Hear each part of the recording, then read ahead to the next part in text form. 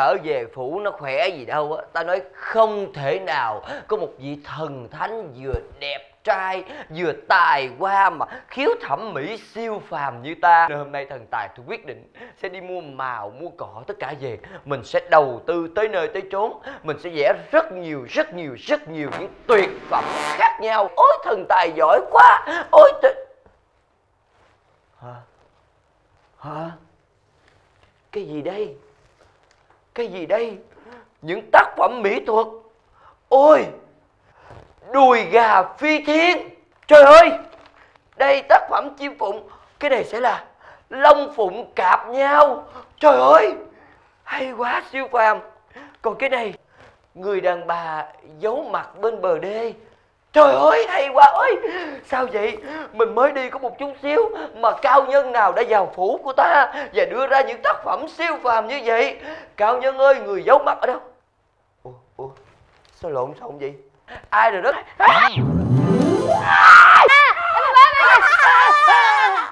Ủa? Bà vợ ông thổ địa sóc trăng. Ê, khoan khoan khoan khoan khoan. Đứng lên đứng lên đứng lên. À, nghiêm đứng túc lên. đứng lên. Rồi. ê, qua đây qua đây qua đây nghe tôi hỏi Chuyện gì? ủa bà ở đâu mà bà sấn sổ bà đi vô trong phủ của tôi rồi bà nào mà ngủ vậy? Ôi, Tôi đợi ông đó. Cái khu vực của tôi đó Ờ. Bây giờ nó là giống như là quê em mùa nước lũ vậy đó. Mà tôi á thì tôi tiếc. Ta nói đây nè Đó Đôi guốc mới mua. Guốc Hả? xịn đẹp luôn thấy Ờ. không? Lội vô bùng xình thì nó uổng nó tiếc. Ờ. Nên tôi phải kẹp đôi guốc vô nách Kẹp hai bên hai cái. À tôi hiểu vấn đề rồi. Thì ra bà đi bùng xình từ ngoài kia vô đây Ừ. Rồi bà quyết định bà lấy giấy vẽ của tôi bà lao chân đúng không? Mà cũng tại ông hết á. Cái phủ hay cái nhà gì người ta cũng phải có cái tấm thảm lót chân để khách khứa đi ra đi vô. Có trời mưa thì người ta dặm cho nó sạch để không có người ta mới tri trét như vậy. Mệt quá đi vô nhà người ta chay chét tùm lum Đi mét Ngọc Hoàng tôi mét Ngọc Hoàng. Đến đây đến đây đứng lại. Đàn ông con trai gì đâu hở cái mét mét mét mét mét. Tức quá phải mét chứ. Thôi. Chứ tại sao? Bà vô nhà tôi bà dám chùm bùm tùm lum. Bây giờ đi ra lau nhà cho tôi đi. Ông nghĩ sao mà tôi lau nhà cho ông vậy hả? Do cái lỗi là lỗi của ông. Nhưng mà nè Rồi bây giờ tôi công nhận là tôi có lỗi là ở tại nhà tôi không có cái thảm chùi. Ừ. Thôi bây giờ bà đó đi mua thảm chùi đền cho tôi đi. Đó tôi đến đây tìm gặp ông thấy Ờ. không? Để dắt ông đến cái nơi này. Ừ. đó là cái chị này là chị chuyên sản xuất về à, thảm lót sàn nè thấy không? À, đồ nhắc nồi nè rồi à, những cái gì mà làm thủ công đó. À. mai bằng tay không đó ông? Ủa mai tay không hả? Ừ. Chị tên gì vậy? Lê thị tho. Ủa sao chị không mai mái mà mai tay vậy? Tiền đâu mua máy mai? Ồ vậy hả Ờ thôi kệ đi Nhưng mà mai tay là đồ handmade. Đúng rồi. Handmade đồ nghệ thuật. Trời Đó. ơi tôi thích handmade. Mà mà mà Đi, dẫn, đi dẫn, ha. dẫn tôi tới chị, chị Tho mua đồ đi đi đi handmade. đi tới đi. Tôi mua tặng cho một chục tấm luôn.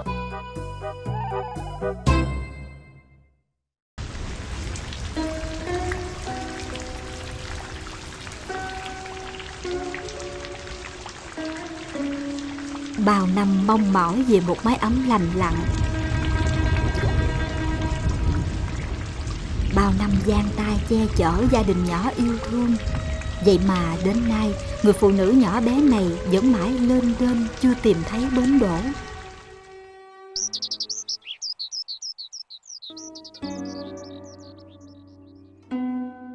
cố gắng giữ thảm bằng bàn chân teo tóp, cắt giải bằng bàn tay co quắp còn lại, vì một bên cơ thể đã bị liệt từ sau cơn sốt quái ác thổi lên ba ngót chục năm nay, chị lê thị tho ngụ xã thới an hội quyện kế sách tỉnh sóc trăng, vẫn luôn cố gắng mưu sinh bên tay nghề tự học để chăm sóc cho mẹ già cùng đứa con thơ. Lớn lên tại vùng quê nghèo với bao mặc cảm tự ti, vì khiếm khuyết cơ thể. Ngày lớn khôn, người phụ nữ bé nhỏ này vẫn chưa hưởng trọn hạnh phúc. Từ khi người chồng bỏ ra đi, lúc đứa con trai chưa tròn một tuổi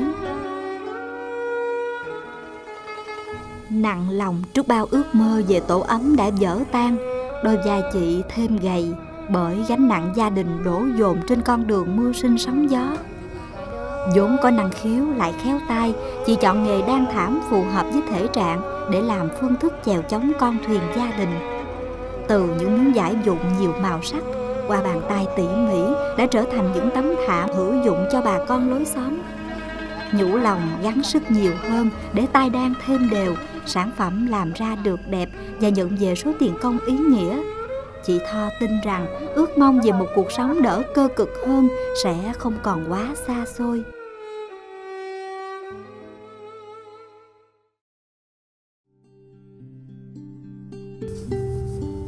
chậm rãi từng chút một, dùng chính đôi tay khiếm khuyết để chăm sóc cho người thân.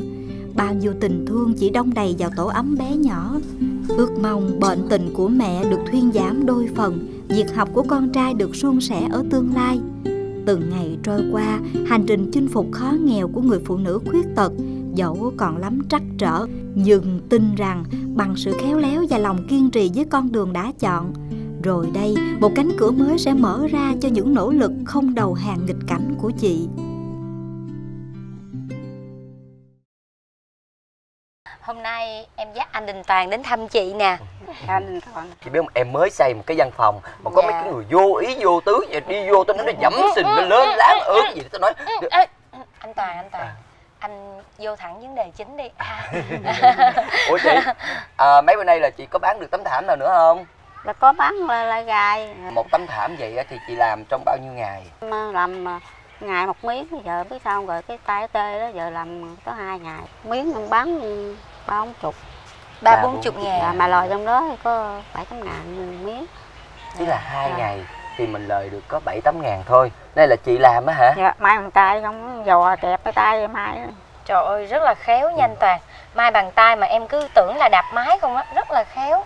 Chị Tho đó không phải là chỉ làm những cái công việc này kiếm tiền để chỉ lo một mình chị mà ngoài ra chị còn lo cho một người mẹ già với lại à, một à, một con trai nữa phải không chị dạ Mấy? nó 9 tuổi học lớp 1 bây giờ nó đi trễ học nó học nó chậm rồi mẹ không biết chữ rồi nó mò học lên nó yếu hơn người ta học nhưng mà từ khi mà chị sinh à, bé trai là bé Linh đó Ừ. thì chồng chị lại bỏ đi thì Dạ. thế là tất cả mọi cực khổ vất vả gánh vác hết coi như là chị vừa làm cha vừa làm mẹ luôn đó anh Rồi. nghe nhờ xóm ghiền nó thấy vô, vô thương tình giúp đỡ người và cái gạo đó với cái có- có người xe ôm đó rồi thấy tội nghiệp rồi nhậm khi tháng cho chục ký những có lúc nào có tiền thì mua đồ ăn không có mẹ con đi đào chuồng câu ờ, câu cái á khó ăn.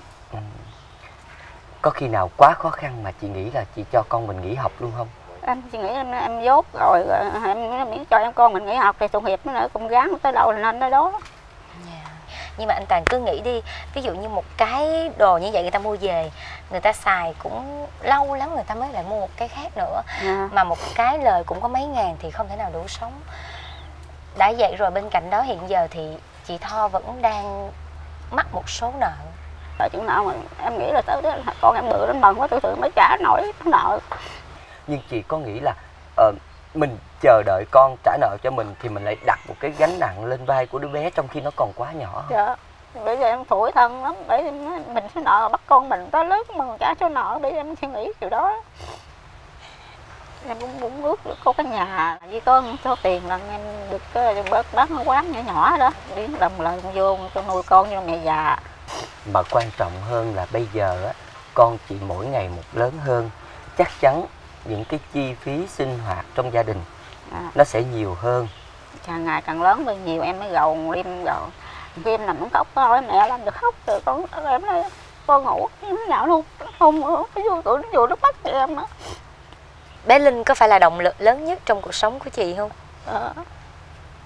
rồi à, bé linh có biết giúp mẹ làm việc này nọ không? Có đi học gì khi cái em giặt thao đồ cái rồi té té nó mẹ đi con bưng quần áo cho phơi cho rồi bưng chén đi rửa nó rồi với cơm cho ngoại nó ăn nữa nhưng với những người có cơ thể như chị chúng ta chỉ sử dụng được một tay và một chân thôi Dạ. thì đó là một kỳ công và là chị đã phải sử dụng rất nhiều những nghi lực khác nhau để vượt qua rất nhiều những khó khăn trong Dạ. cuộc sống toàn và trâm ngày hôm nay đến đây thăm hỏi gia đình và muốn giúp chị Dạ. có thêm động lực Dạ. chúng tôi muốn gửi đến chị một à, món quà đó là chương trình thần tài gõ cửa của đài truyền hình vĩnh long và Dạ. hy vọng là cuộc sống của gia đình chị sẽ ngày càng tốt đẹp hơn Dạ, anh cũng ơn hoàn toàn chập cái chăm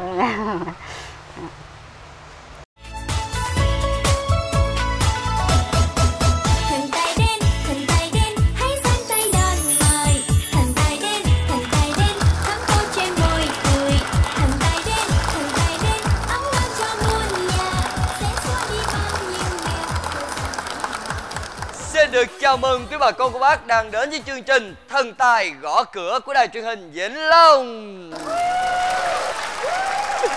Và thưa quý bà con cô bác, chương trình Thần Tài gõ cửa với sự tài trợ chính của thương hiệu nệm kim cương 100% cao su thiên nhiên êm từng phút khỏe từng giây. Và dạ, chương trình này là một chương trình đặc biệt dành cho người khuyết tật nhưng có nghị lực và ý chí vươn lên trong cuộc sống. Chương trình sẽ giúp cho họ một số vốn để họ có thể thực hiện những ước mơ của mình. Trước tiên sẽ là sự đồng hành cùng với Thần Tài ngày hôm nay. Vợ thổ địa Sông Trăng né né né né nói chuyện với bà con cô bác một chút bà con cô bác ơi hôm nay vợ thổ địa đến đây là để bán tranh ai mua tranh tôi bán tranh nè. Trời ơi ta nói cái đây là những cái bức tranh mà gọi là tranh siêu thật siêu phàm siêu kinh khủng. Nói chung là cái gì cũng siêu đó à trời ơi. Bà tin tôi cào bà không? Nhưng mà nói nghe nè Đừng có giới thiệu nhiều vậy Tao nói ngại lắm. Trời Mắc cỡ lắm thôi, thôi, thôi dẹp vụ bán tranh đi. Ủa bà ra đây làm gì á thì tôi tính bán tranh nè để kiếm thêm được đồng nào hay đồng đó để tôi cho chị à, Lê Thị Tho. Ờ ủa, ủa đâu mất tiêu rồi ta? Ở gì đâu đâu. Trời ơi tôi tôi đi với chị Lê Thị Tho. Ờ. Nhớ ơi. Sẵn xa sẵn sẻ thưa bà con cô bác và bây giờ chúng ta hãy cùng chào đón nhân vật của chương trình đêm hôm nay chị Lê Thị Tho đến từ Sóc Trăng. Xin mời chị. Dạ con chào bà con cô bác Dạ con chào ông thần tài Dạ con chào bà cô địa dạ chào chị. Rồi chị Tho nè chân cẳng vậy rồi à, đi lên đây có thấy mệt không? Dạ cũng đuối giờ cắn là mỏi. À không có mệt mà đuối ha. À, Rồi Và ngay bây giờ chúng tôi mời bà con của bác Chúng ta cùng chứng kiến tay nghề của chị trong ngày hôm nay với phần đàn thảm. Rồi bây giờ thổ địa mời chị Tho bắt đầu công việc đan của mình đi Thưa bà con cô bác, chị Lê Thị Tho nhân vật của chúng tôi ngày hôm nay Chị bị bệnh và bị liệt một tay một chân. Cho nên chỉ với một tay một chân còn lại Chị phải kẹp dây điện và thắt thành những cái tấm thảm như vậy. Và đôi khi chúng ta ra chợ mua tấm thảm về Nhưng không biết là tấm thảm được làm như thế nào. Vì thế chúng tôi muốn mời chị làm qua rất nhiều những công đoạn khác nhau Để bà con có thể hình dung được và đây là công việc mà chị làm để mưu sinh hàng ngày. Và toàn bộ giống như chị còn có thể biết may áo gối hoặc may cái đồ nhắc nồi nữa nhưng mà chỉ may tay thôi. Bởi vì không có tiền để mua cái máy may. Chúng ta thấy nó đơn giản lắm. Chỉ cần là gấp gấp đôi cái vải lại mình móc vào một sợi dây. Nhưng với một người mà chỉ còn một tay một chân có thể hoạt động thì đó là vô cùng khó khăn. Dạ ở xóm người ta thấy công nghiệp tôi cho. Nha quấn vòng vô thì mình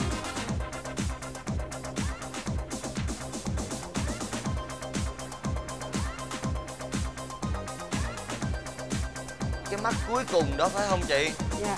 Bốn chiếc máy dây để chúng ta ngồi cột từng miếng vải nhỏ nhỏ nhỏ nhỏ vào tới 4 mét dây. Và quan trọng là chị làm bằng một tay và một chân của mình. Ờ. tận trọng xong rồi hả chị? Rồi. Ồ bà vợ thổ địa kiểm tra coi đẹp không? Đẹp quá à. Không tưởng tượng là chị có thể làm được cái điều như vậy. Và chính vì vậy chúng tôi mời chị cùng nhận lấy ba điều ước từ chương trình ngày hôm nay. Xin mời.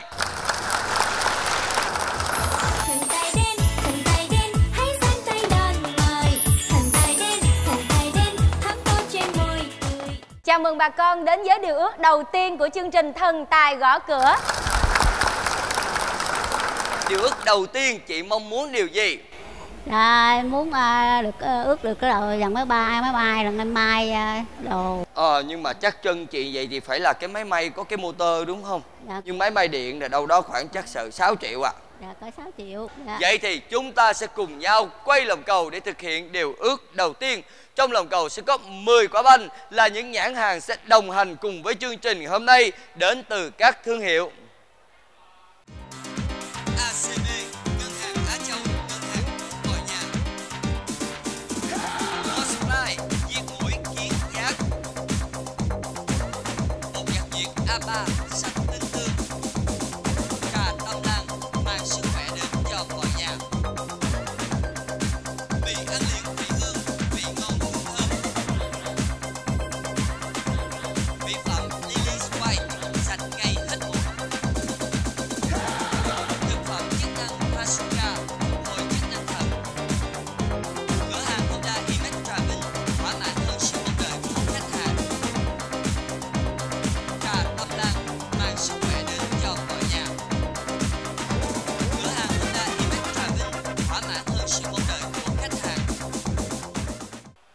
Giá trị của những quả banh sẽ bắt đầu từ 6 triệu cho đến 10 triệu đồng. Rồi mời chị Vịnh Thần Tài đứng lên. Từ từ thôi nghe. Một hai ba bắt đầu.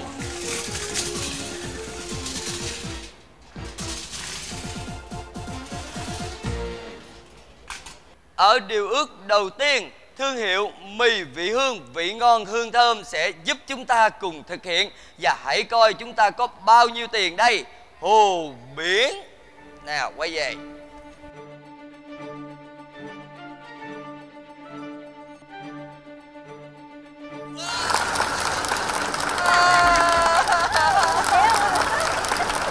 Hay quá. mừng quá rồi mừng quá rồi 10 triệu đồng. 10 triệu đồng xin mời.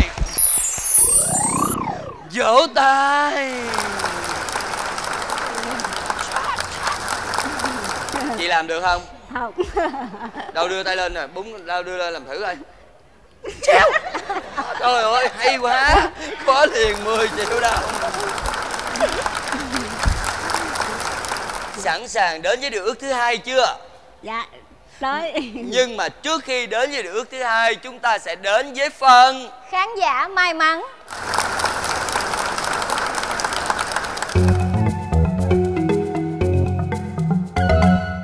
Chào mừng quý bà con cô bác đang đến với phần khán giả may mắn. Và chúng ta hãy cùng tìm ra chủ nhân của một chiếc bếp điện.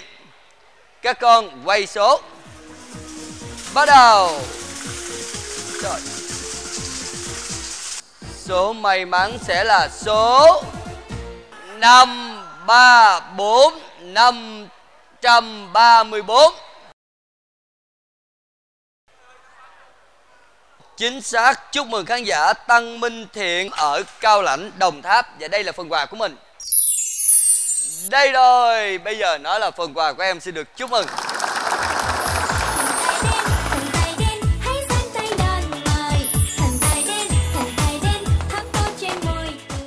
Chào mừng bà con đến với điều ước thứ hai của chương trình. Chị Tho nè, vậy thì điều ước thứ hai của chị sẽ là cái gì? cái này em được có ờ, số vốn lần mua giải với ờ, em còn thiếu cha con cháu 3 triệu bạc. Có cái nhà đang mở, cái, quán nhỏ nhỏ đang buôn bán cho ừ. ờ, dòng dùng ra đang nuôi mẹ nuôi con. Chúng ta cần tiền để mua giải, để trả nợ, mở một tiệm tạp hóa vừa vừa. Dạ để xem chúng ta có bao nhiêu tiền. Hãy cùng nhau quay lòng cầu để thực hiện điều ước thứ hai. Trong lòng cầu chỉ còn lại 9 quả banh, một quả banh có giá trị 10 triệu đồng chị đã sử dụng cho điều ước đầu tiên rồi. Bây giờ nè, ai sẽ là người quay lòng cầu để thực hiện điều ước thứ hai? em Mời em.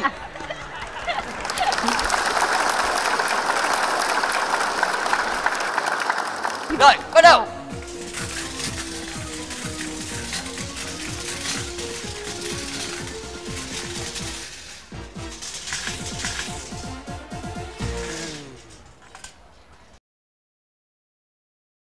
Thương hiệu trà tâm lan mang sức khỏe đến cho mọi nhà ở vị trí đầu tiên sẽ giúp chị thực hiện điều ước thứ hai này và hãy xem chúng ta có bao nhiêu tiền đây.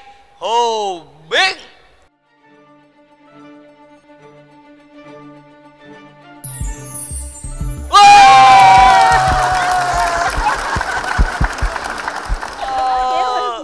Mừng mừng rồi Mừng không? Dạ, Rồi mừng. vậy giờ đứng lên đi về luôn khỏi lấy tiền được không? Chịu không? Ờ, cũng chịu đó cũng chịu nữa trời ơi dễ dàng hết sức ngay bây giờ chúng ta hãy nhận lấy số tiền của mình 8 triệu đồng xin mời đây rồi đây bây giờ nó là của chị 8 triệu đồng. Một lần nữa cảm xin được rài Chúc mừng chị Thơ rất là nhiều. Bây giờ chị sẽ vui hơn nữa Sẽ mừng hơn nữa nếu chúng ta thực hiện điều ước thứ ba. Nhưng trước khi thực hiện điều ước thứ ba Chúng ta hãy cùng hướng lên màn hình Để xem những giá trị còn lại Nằm dưới những nhãn hàng nào. Và sau đó chắc chắn sẽ đến với phần Khán giả may mắn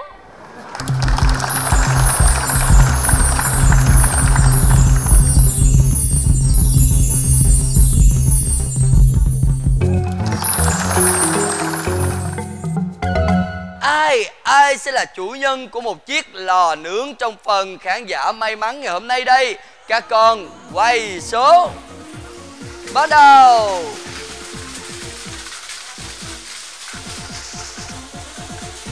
Số may mắn sẽ là số bảy hai hai bảy trăm hai mươi hai. Chúc mừng khán giả lê thị hậu ở cái bè, tiền giang. Và đây là phần quà của em Xin mời Đây rồi Xin được chúc mừng em với phần quà ngày hôm nay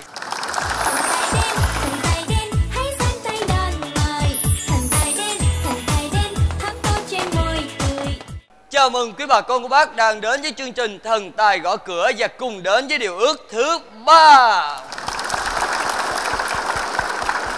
Còn một điều ước thứ ba cũng rất quan trọng nữa. Điều ước thứ ba, bà biết không? Tôi biết tại vì á tôi đã từng đến nhà của chị rồi Ờ. tôi tâm sự chia sẻ cái hoàn cảnh của chị rồi Tâm sự với bà luôn. ừ. Vậy điều ước thứ ba của chị là gì thưa bà?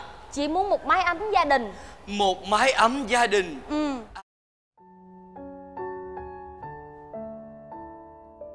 chỉ mong mỏi được một căn nhà nè không có bị dột không có bị gió bão À, Dạ em thì cái nhà em hồi đó thì ờ, ở riêng nhưng mà dột một ở trên sập rồi gãy rồi em mới lên nhà máy em mới đậu dạ. rồi giờ em muốn có cái nhà ờ, mẹ con che nắng che mưa À, à, ngày hôm nay con chị có đi với chị không? dạ có Rồi đâu con trai lên đây ông biểu coi, lên đây với mẹ nè. lên đây con Rồi con đứng kế bên mẹ đi. Con tên Linh, Con mấy tuổi? con 9 tuổi. Chào Con chào bà con cô bác. Rồi, Linh cho ông hỏi nè, ở nhà đó con có phụ giúp cho mẹ làm công việc nhà không? Dạ có. Con làm gì? Bác nhà, Làm gì nữa? bác cơm cho mẹ ăn. trời ơi giỏi Quét dữ vậy. nhà, nấu cơm cho mẹ ăn giỏi quá vậy con làm gì nữa? Bác cơm, Bới cơm, rồi con có ăn cơm không? dạ có. Ồ vậy hả? Ờ, tự Ông nhiều thiệt. có thương mẹ con không Linh? Dạ có. Thương nhiều không? Nhiều. Nhiều cỡ bao nhiêu? đâu thương mẹ để ở đâu nè? Trên đầu.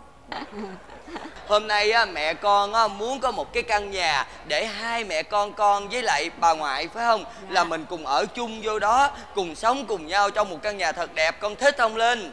Hết. dạ Chúng ta sẽ cùng nhau quay lòng cầu để thực hiện điều ước thứ ba. Lần này trong lòng cầu sẽ có trở lại 10 quả banh vẫn là những nhãn hàng đã đồng hành cùng với chương trình ngày hôm nay. Nhưng giá trị của những quả banh sẽ bắt đầu từ 16 triệu cho đến 25 triệu. Rồi bây giờ hai mẹ con cùng đứng lên đây mời chị. Một, hai, ba, bắt đầu. Rồi, bỏ ra đi con. Rồi, con ngồi xuống đây. Đưa tay vô cho ông. Rồi. Rồi. Một lần nữa Thương hiệu mì vị hương vị ngon hương thơm quay trở lại và giúp gia đình chị thực hiện điều ước thứ ba. Và bây giờ hãy chờ xem với thương hiệu mì vị hương chúng ta sẽ nhận được bao nhiêu tiền. Hồ biết.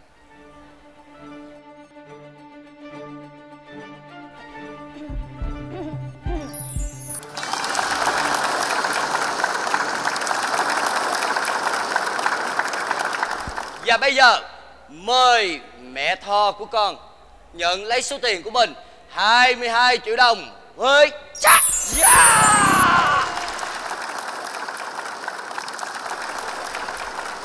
Hay không?